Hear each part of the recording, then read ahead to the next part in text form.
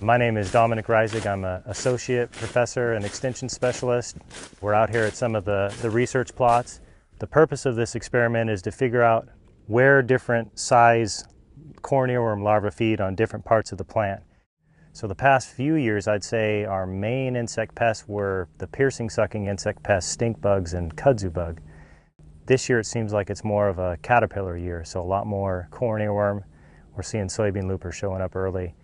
Before we had insecticides, cultural controls were one of the best ways to grow crops. And what I mean by cultural control is exactly what you said. You can change the maturity of your, your crop, basically when it flowers and, and reproduces, or you can change your planting date, which again is going to affect when it, when it flowers or reproduces. So on average, our earlier planted soybeans tend to have fewer insect problems and our earlier maturity groups tend to have fewer insect problems than our later planted soybeans or later maturity groups.